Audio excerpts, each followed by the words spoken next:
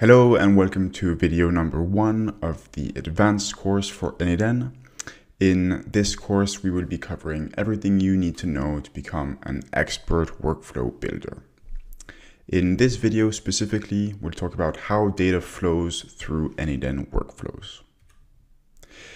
In the beginner course, we started to create short branches. So you might have wondered, if we have multiple branches, what order do the different nodes in those branches execute in? So we're going to talk about node execution order.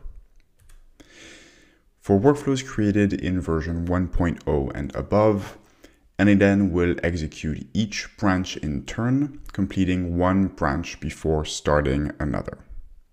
Branches are ordered based on their position in the canvas from topmost to bottommost. If two branches are at the same height, it is the leftmost branch that will execute first.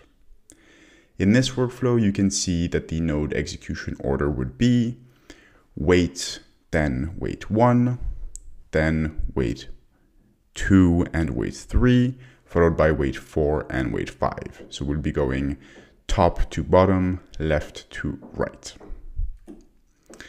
This can be changed on a workflow basis. However, it is not recommended. This will execute uh, the first node of each branch, then the second node of each branch, and so on and so forth. When building workflows where branches depend on each other's output, it is always recommended to merge branches together before using the data from those branches instead of changing the node execution order. As covered in the beginner course, we can use the if node to split data into multiple branches. The if node splits the input items down two distinct branches, whether the condition is true or false.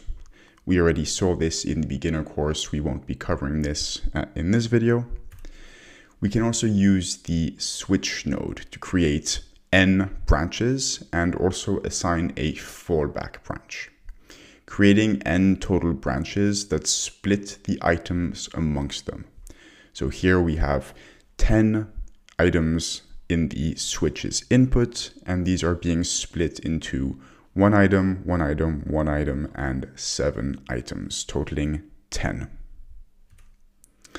A similar effect can be produced by dragging two output branches from a single node. This will send all of the items from the node's output down each one of those branches, following the order of execution we mentioned previously. This can be useful when you want to execute two separate sets of distinct actions from a set target point.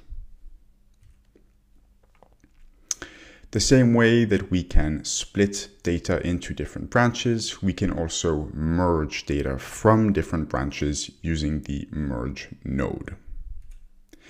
The merge node is a peculiar node because it has not one but two inputs. The node waits for data from both branches to arrive and then performs one of the following merge options append, combine, choose. Append will simply output the sum of both branches, appending them one to another. Choose will let you, well, choose one, the other, or no items to pass. This can be useful to ensure that two or more branches have finished executing before continuing with the workflow. And finally, combine lets you merge the inputs by field, position, or all combinations. A good mental model for the um, merge node is the SQL join operation. Inner and outer joins are equivalent to keeping matches or not keeping matches. The left join is equivalent to enhancing or enriching the first input branch and the right join enhancing the second input branch. Unions are equivalent to appends in this case. Another useful node when dealing with sets of items is the loop over items node. Sometimes when dealing with large amounts of data or when using certain nodes, we need to be able to treat items as individual sets of items. In comes the split in batches node or loop over items. It allows you to split the input items into different batches of a given size. For example, here the batch size is of one, and so there's only going to be one item going down the loop. Most of the time, you don't need this node, and it then nodes already execute once per item. However, this can be a very useful node when dealing with certain types of nodes. Some nodes will return n items even though they have only one input item. An example of this would be Google Sheets. If we are reading data from a sheet, we're going to be reading potentially n lines of data. Here, if we need to read multiple sheets because we have multiple items, we can loop over the items to be able to read each sheet per item. We'll cover this in the um, examples. Loop over items can also be useful when dealing with API rate limits. So sometimes APIs will sometimes APIs will only allow us to make X actions over Y amount of time. So for example, only 10 calls per minute or 100 calls every 10 seconds. Loop over items can help us spread out those different API calls, especially if we have a lot of them to do. By splitting into batches, we can use the wait node and make sure that we aren't overloading the API. You can access the different runs in the output panel here by clicking on run. This will be useful for understanding what items are going through the different runs and how they're being changed as you loop over the items. The loop over items node, as well as all the other nodes that are in the loop you create, will have a green number next to the green check mark, indicating what number loop they're on. You can also access the different output items in the same way as you did for the loop over items node itself where you can see for each different iteration of a loop what were the output items for the nodes in the loop. So here we are in n8n and the uh, first thing I'd like to show you is a quick example on the node execution order. So here if we test this workflow and I'm using the wait node so we can sort of see it go through uh, at a bit more visible rate. Here we'll have the first branch that will be executed in its entirety. And then once we are finished with this branch, we'll move on to the second branch that will execute completely, followed by the third branch that will execute completely. So keep this in mind when building workflows. Uh, branches will execute top to bottom and left to right. So now we're going to be using uh, this workflow to show two different ways of using the merge node. So here we have a very simple workflow um, that we pretty much covered in the beginner course. We get a list of 10 contacts. We use the if node to create two branches depending on if it's a personal email or a professional email. And here we're going to be using the edit fields node to add a email type personal or email type professional. So if we execute this workflow, we see the split. And what we might want to do here is now continue working on all of these contacts as a whole. So using here the merge node, I can add in and connect the two inputs. And we can see here we have three items here, seven items here.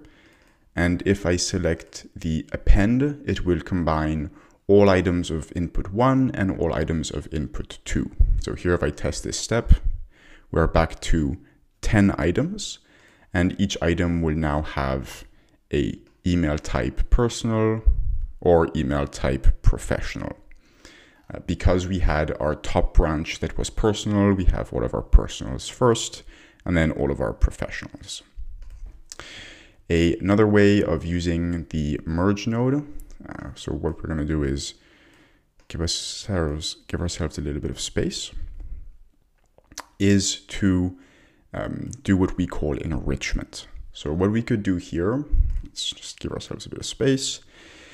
Here I have another Google Sheet that we're going to read. And this Google Sheet contains information about the companies. So if I execute this, we're going to see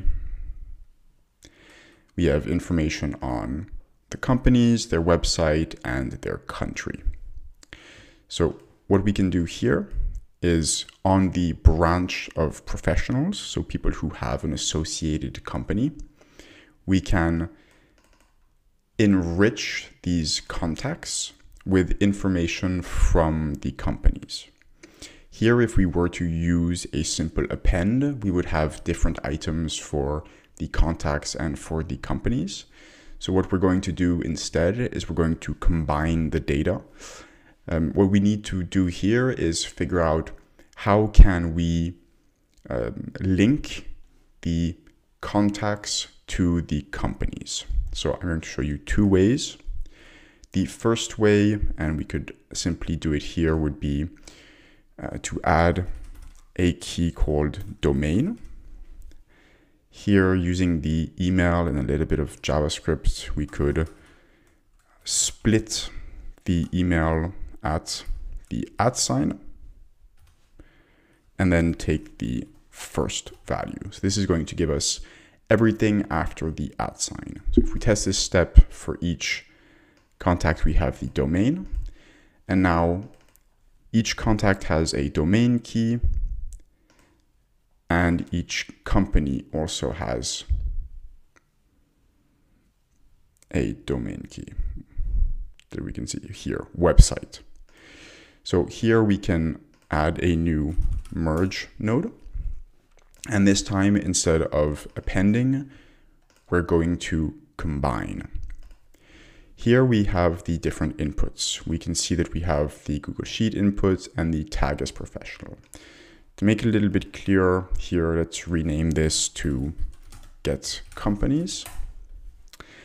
And looking at the merge node, we can see that to merge by fields, we need to give the name of a field in input one and the name of a field in input two. This is basically going to be our matching key. So our two inputs are get companies, input one, and then this set, sorry, this edit fields node, which is going to be input two that we can read up here, input one and input two. From get companies, we want the website. And from tag as professional, we want the domain. Here, we would like to, we can choose between keeping matches, keeping non-matches, or keeping everything. In this case, uh, we're, because we're doing an enrichment, what we're going to do is keep all of input two with data from input one added in. This is because we're working on a contact basis and we want to enrich all of the contacts that have professional emails with um, company information. So here, if I test this step, we can now see that Marcus Bennett from Quantum, we now have the information from the other sheet uh, that was that contained information on their website and the country. This is a great way that we can enrich um, branches with extra information. This can be a Google Sheet, a database, an API call, and then we just merge the data uh, depending on the field. If we wanted to do a enrichment uh, through, for example, API calls, where for each item we would do one HTTP request. We could merge not by fields, but by position and have a very similar result. Just finishing off this workflow, I can pull this in here. And now if we execute the workflow, we can see that we've created two distinct branches and this one we need to set it as execute once because we only need one time all of the companies.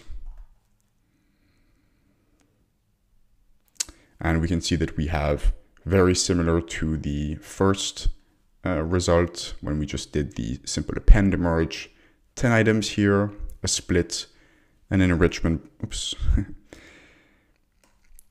10 items here, a split with an if, three up here, seven down here that get enriched, and then we merge them back in to 10. And so here we have pretty much the same information as the sheet, but with a bunch more information that we added through these branches. Thanks for listening to this first video of the n8n Advanced course, where we covered node execution order, splitting and merging branches. In the next video, we'll take a deep dive into some more advanced n8n nodes. See you in the next one.